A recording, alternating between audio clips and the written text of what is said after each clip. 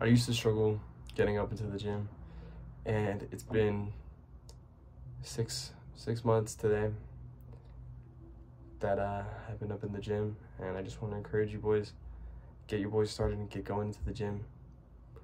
Um, I used to struggle a lot at the beginning. Uh, let's say October 2022 was around the time when I first started, and I would struggle.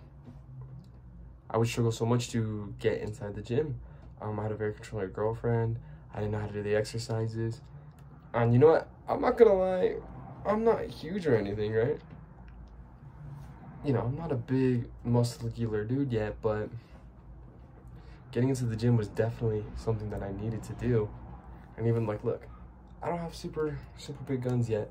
I mean, it's better than my day one, but you need to just get out there and get to it.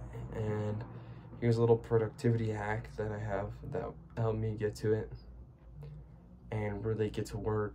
And that was finding some gym bros. Now, I'm the last one out of all my gym bro original group that still goes consistently.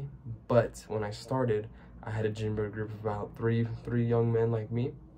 It grew to the the biggest it got was five people in total. When one girl, four dudes. We'd all hit the gym. We'd all lift weights, and life was good. Now it's just me, and that's crazy to think about. Like, how did I become the most disciplined and most trained one out of all of them? Like, I literally got monkeys in my room, but it's about training and putting in the work, boys. But anyway, you gotta find a group of, like, I recommend young men, because you know you guys do similar weight, people in the same group, and hit the gym, and it makes it so much easier, whether it be coworkers, whether it be uh, people at school, whether it be your family. Fuck yeah, I try to get my cousins to go to the gym.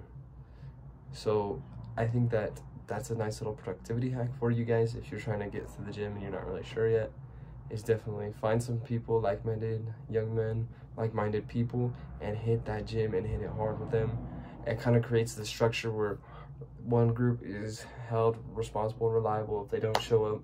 One party is held responsible and reliable if they don't show up. So it kind of equals out creates like this equilibrium and you just need to hit the gym boys